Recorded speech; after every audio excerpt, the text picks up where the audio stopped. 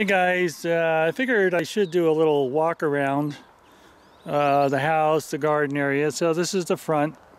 Uh, all the ornamental stuff is really starting to, to grow. So my next project will be uh, clipping some of these guys back. Up here's the road. So now down along the road here we have this 200 year old walnut tree.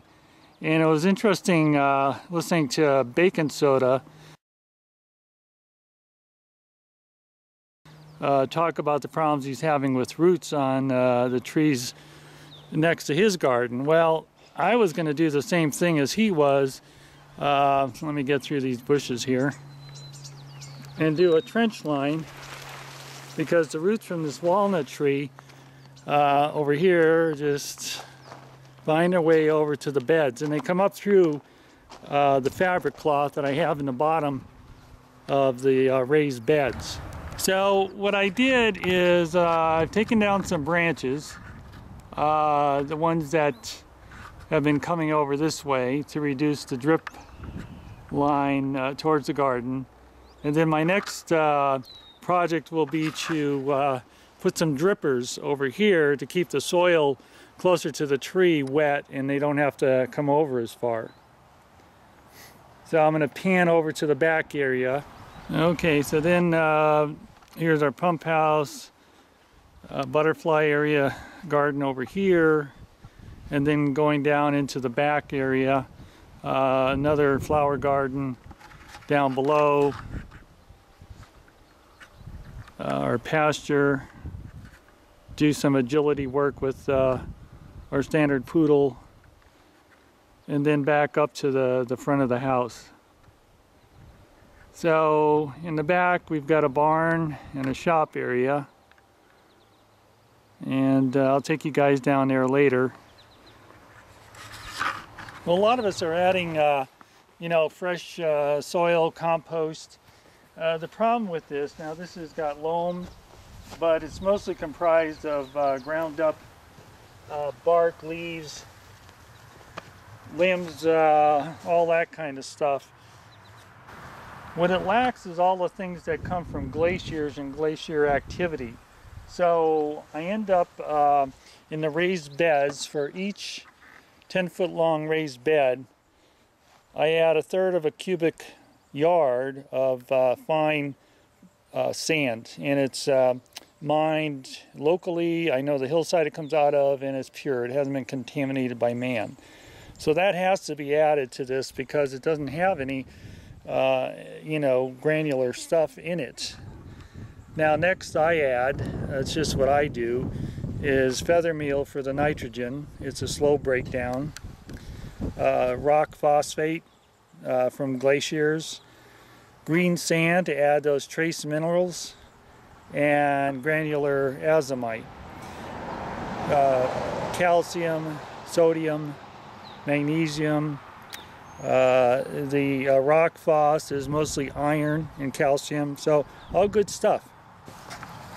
So along with that, I uh, go across the street and get some uh, year-old horse manure to add to the bins. So uh, I've got a good supply of, of that. And over the fence line in the back, I come over and get some fresh cow patties. Now the reason um, fresh cow patties is I only get it for the bacteria, the beneficial bacteria, and I just kind of inoculate uh, the beds. So it's not to add uh, nitrogen, but just the beneficial bacteria. So this spot is uh, going to turn into uh, a milkweed restoration project for the monarch butterflies.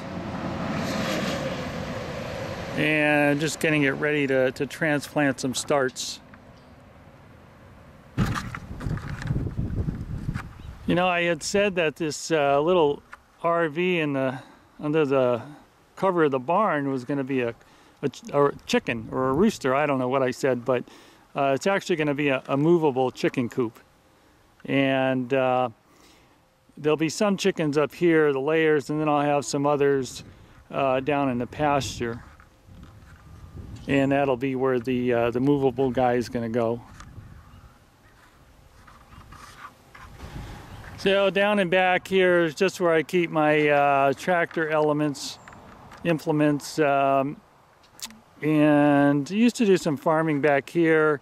Uh, it's a nice moist area, but uh, you know, you can only do so much. I mean, if I was like uh, Bobby, I'd have a nice big old greenhouse down in here. Uh, perfect spot, perfect conditions, uh, right angle with the sun. I mean, it's just a, a perfect spot for somebody that's a, a little younger to get moving. Well, unlike Gary at uh, Gary's Garden,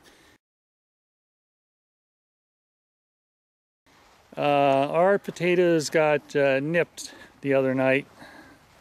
It wasn't uh, forecasted to be uh, frosty, but it uh, got down to 28, so um, they'll come back. But, you know, it just kind of delayed things. Well, I don't know if it really delayed them, but they certainly don't look as nice.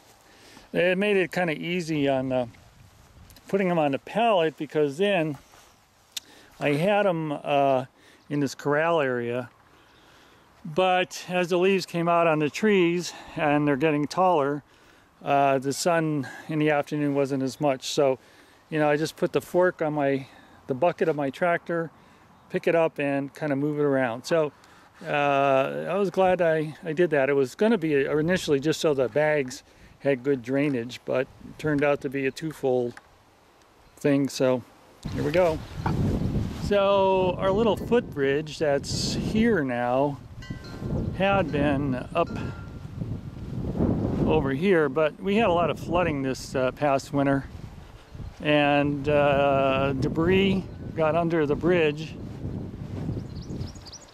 and caused the water to divert uh, to the bank on both sides and ended up washing out our little footbridge. So I'll have to do that. I'm thinking of putting in a French drain or I don't know, rocks and a 12 inch pipe uh, to carry the water down and through. But anyway, just another project. Yeah, a little sitting area I did a couple years ago, but I'm going to have to uh, redo the chair and table. Um, just add some new wood. Uh, sitting area I did uh, many years ago so that we uh, could come out in the evening and have a view down valley.